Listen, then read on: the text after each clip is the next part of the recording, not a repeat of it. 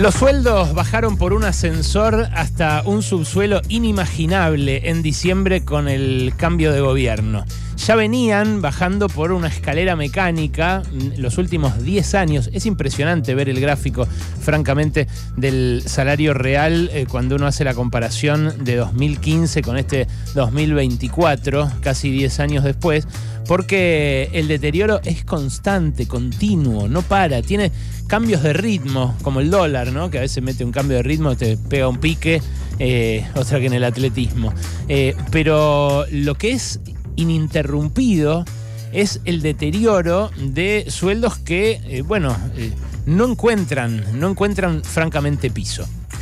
Después de esa baja en ascensor, de esa brusca baja de diciembre, eh, se produjo eh, la escalada de apenitas unos escalones en estos últimos eh, meses. Este último mes del que se jacta el gobierno, el mes en el que el salario se recupera por encima de la inflación, es el que se conoció ayer y el que se jactó Luis Caputo, el ministro de Economía, eh, mostrando apenas una parte del gráfico, falseando la realidad abiertamente eh, con eh, ese índice que, repito, apenas compensa lo perdido en ese diciembre fatídico, pero lo perdido en general en los últimos 10 años.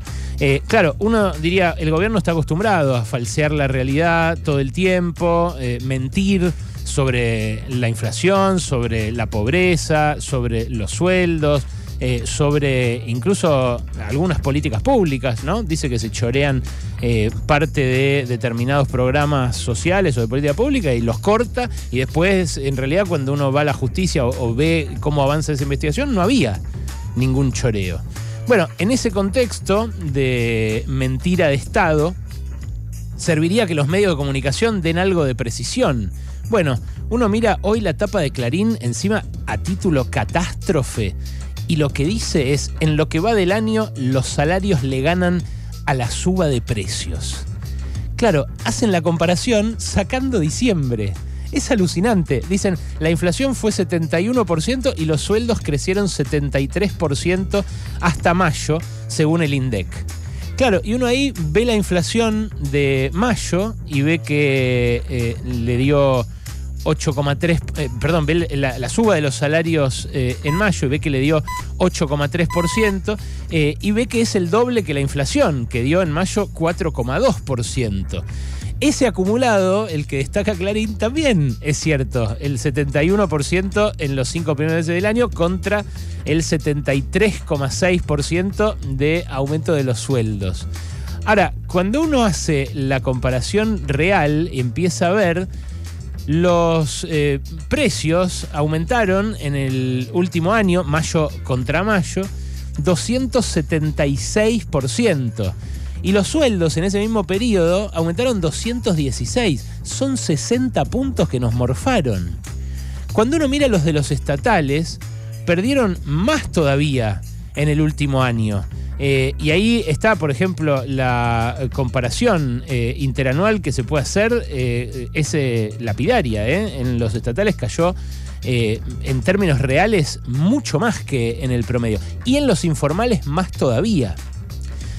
Entonces, ese año, que por supuesto es parcialmente imputable a Sergio Massa y al peronismo, al gobierno pasado, y parcialmente imputable a Caputo y a Milei, al nuevo gobierno, fue un año de neta pérdida, pero un año en el cual la pérdida más grande fue a partir de la devaluación de diciembre. No se puede mentir tan flagrantemente, no puede quedar tan en evidencia. La mentira, bueno, sí, queda en evidencia y así mienten, tanto unos como otros. Ahora, lo que eh, puede llegar a pasar de acá en adelante es lo que eh, la mayoría de la gente se pregunta, ¿no? Ya eh, de algún modo asimilado el golpe de la inflación eh, de estos meses, dicen, bueno, ahora se va a recuperar, ahora hay posibilidades de que el sueldo suba, bueno, aunque sea por la escalera mecánica, todo eso que bajó en el ascensor. Bueno, eh, claro, los acuerdos salariales de los gremios que pueden empiezan a compensar esa inflación del mes de diciembre. Claro, eh, con ese espejo retrovisor se pudo recuperar parte de lo perdido desde aquel diciembre. Eh, pero ese crecimiento de los salarios reales todavía está lejos de haber vuelto a los niveles previos a la devaluación de diciembre. En julio, de hecho, en el sector privado registrado, posiblemente, dice Luis Campos de la CTA, estemos con una caída. Con una caída nuevamente, o sea, una recaída en que vuelvan a subir más los precios que los salarios. Eh, la caída del sector público, eh, que es descomunal, les decía hace un ratito, eh, es nada despreciable porque los asalariados del sector público son uno de cada tres de los asalariados formales, de los que están en blanco. Y además es importante medir la caída del salario hasta ahora y prever cómo van a seguir para adelante porque este deterioro se da en un contexto en el cual ya echaron a 150.000 laburantes desde diciembre de sus empleos y hay una movida en marcha en la cual, a partir de la ley bases, y a partir de los procedimientos preventivos de crisis, hay empresas que quieren rajar a sus empleados en relación de dependencia para contratar a otros como locación de servicios. Quizás los mismos incluso. ¿Por qué? Bueno, porque un procedimiento preventivo de crisis permite echar con la mitad de la indemnización y a la vez la nueva ley bases permite contratar ya no por agencia, como se hace en muchas fábricas, que de repente hay algunos que tienen el, mejor convenio colectivo y ganan mejor, y otros que vienen a hacer un trabajo especial tercerizado ganan peor porque tienen un peor convenio colectivo. Ahora ni eso.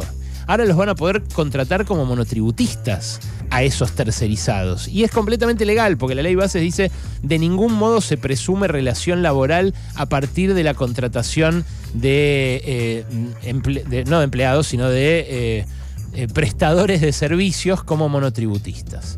Bueno, el problema es que desde ese punto en el cual cayó el sueldo por el ascensor, ya era un punto bajísimo era un punto 24% inferior en el sector público al de finales de 2017 y 21% inferior en términos reales al de noviembre de 2017 en el sector privado. Y esta recuperación de la que se jacta, de la que cancherea Caputo ayer, que dice, miren cómo duplicó el, el índice de salarios de mayo a la inflación, es una gota en el océano.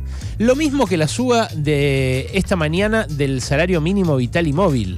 El gobierno, a falta de acuerdo en el Consejo del Salario, eh, laudó y volvió a fijar los aumentos del eh, básico inicial para toda actividad en la Argentina para los próximos meses. Hizo, como pedían eh, las cámaras empresarias, una hoja de ruta para los próximos cuatro meses. Y ahí lo que se ve es que a partir del primero de julio, el salario mínimo, ¿sabes a cuánto se va? O sea, el que rige ahora, el que se va a poder pagar a fin de mes, como mínimo, 254 lucas. ¿Quién puede vivir con 254 lucas? 254 lucas es ya mucho menos que la mitad de la canasta de pobreza, con lo cual un matrimonio que cobra los dos sueldos, que está en blanco y cobra el sueldo mínimo y que incluso cobra después la asignación por hijo, no alcanza a cubrir, laburando los dos, ¿eh? Una familia de cuatro no puede mantenerse con dos sueldos mínimos más las asignaciones que reciben esos salarios. El primero de agosto se va a 262 lucas. Siempre hablando de 8 horas, jornada completa, ¿eh? 8 horas, 5 días a la semana. Eh, en septiembre se va a 2,68 y en octubre a 2,71. Eso implica, eh, según las eh, cuentas que han sacado los especialistas, que el poder adquisitivo del salario para octubre de este año va a ser 45% menor que en noviembre de 2019. Va a ser eh, un salario mínimo casi testimonial, porque nadie puede vivir con esa guita y porque, eh, bueno, ya no empuja el mínimo los sueldos de otros que de repente, lo que pasaba en un kiosco, ¿no? Uno está eh, en, en, relación de dependencia en blanco, otro está en negro al lado suyo, entonces al que está en blanco le suben por el salario mínimo el sueldo y el que está en negro al lado dice, che, le dice al patrón, a mí también subime. Bueno, ese efecto, que es el buscado de un salario mínimo vital y móvil, ya lo perdió completamente. No solamente va a ser 45% menos que en 2019, que por ahí ya te olvidaste. eh, va a ser, con lo proyectado de inflación de acá en adelante, menor en octubre que en mayo. ¿Por qué? Bueno, porque la hoja de ruta que fijó el gobierno de acá hasta octubre es demasiado ambiciosa. Presupone que la inflación va a bajar a casi cero. Y lo que prevén la mayoría de los economistas no es que baje a casi cero, es que se mantenga en este 4 o 5%, incluso que repunte un cachito. Con lo cual, si se aplica eh, esta hoja de ruta y si se cumple lo que dicen los consultores, en octubre de 2024 va a estar 30% por debajo del valor previo a la devaluación de diciembre. O sea, los sueldos van a haber funcionado como ancla contra la inflación y no el dólar como vende Caputo. Lo que está frenando en este momento la inflación en niveles altos, porque sigue en niveles altos, es que nadie se puede comprar nada. Y eso es poco elegante de decir, la verdad, poco vendible como política económica. Bajé tanto los sueldos que la gente se está cagando de hambre y se venden en los supermercados 20% menos de cosas, lo cual eh, frenó la inflación. Bueno, es, eh, es difícil de promocionar algo así. Lo concreto es que es lo que pasó y es lo que, eh, según la hoja de ruta trazada esta mañana en el boletín oficial, va a seguir pasando los sueldos van a ser el ancla, mientras las ganancias de las principales empresas de la Argentina se disparan hasta el infinito. Y los sueldos son el ancla no porque las pymes no le quieran dar el aumento a los empleados, porque las pymes también están sufriendo el mismo torniquete que esos empleados. Los que ganan son muy poquitos son los que tienen capacidad de fijar precios y de imponerle sus condiciones a todos los que están aguas abajo, sean empresas chicas, más chicas o trabajadores y trabajadoras.